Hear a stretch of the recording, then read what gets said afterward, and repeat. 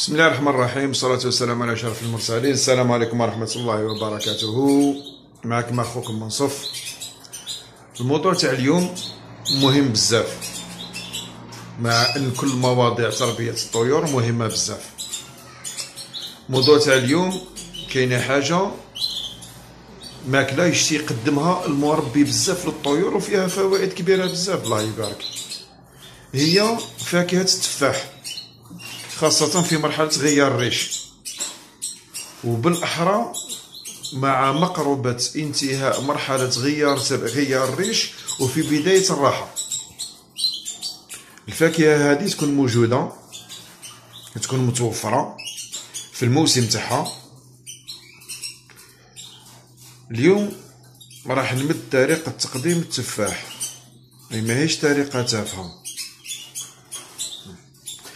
تحكم. التفاحة ها التفاحة تغسلها مليح. تحطها في الثلاجة باش تنحي لها الحرارة هذيك لي ومن بعد تحكمها كي تقسمها تنحي لها. تنحي لها هاد اللي يجيو فوق اللي يجيو هنا. اللي يجيو هنا. هذاك اللي يجي الحامل تاع تاع البذرة. لأن البذور تاع التفاح مضرة للطائر. ومن بعد تهزها تمدها للطائر. كي تمدها له بالطريقة هذه ما بين لي بارو تاع القفاص راهو خطأ كبير. لأنه من بعد كي تنحيها باش طيشها راهو يقعد لهنا التفاح. تسمى يقعد لهنا الوسخ. ما تقوليش راني نيطواي طريقة خاطئة لأنه ما نيطوايوش بكل. بكل ربي نزعوش. وهاد هاد الوسخ هذا اللي يكون لهنا أي قفص نفوت عليه برا سواء تاع مقنيين ولا تاع كناري نلقى الوسخ هذا ما بين لي بارو الطريقة المليحة لتقديم أي فاكهة ولا أي خضرة تفاح ولا خيار تبعوا معايا الفيديو.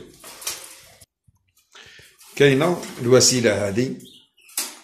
راهي تتباع كاينة حاجة مليحة دير 6000 فرنك 6000 60 دينار.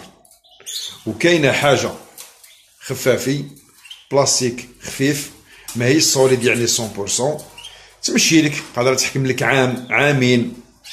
قدر دير دير الفرنك دير mille francs آه عشر دنانير عشر دنانير تهزها تبلاصيها داخل القفص هاي وين بلاصيها داخل القفص ومن بعد نجيبو القطعة المقدمة تاع التفاح.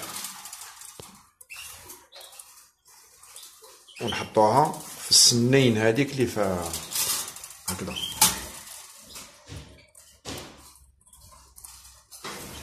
بصح كاينة حاجة؟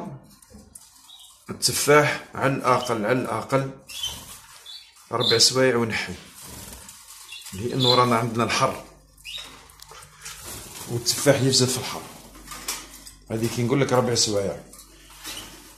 خليك صار على ربع سوايع وانت ربع سوايع ما يصرى له والو بصح فوق ربع سوايع يبدا يصرى له ونتمنى إني فت واستفدت و سبحانك اللهم وبحمدك استغفرك واتوب اليك والسلام عليكم ورحمه الله وبركاته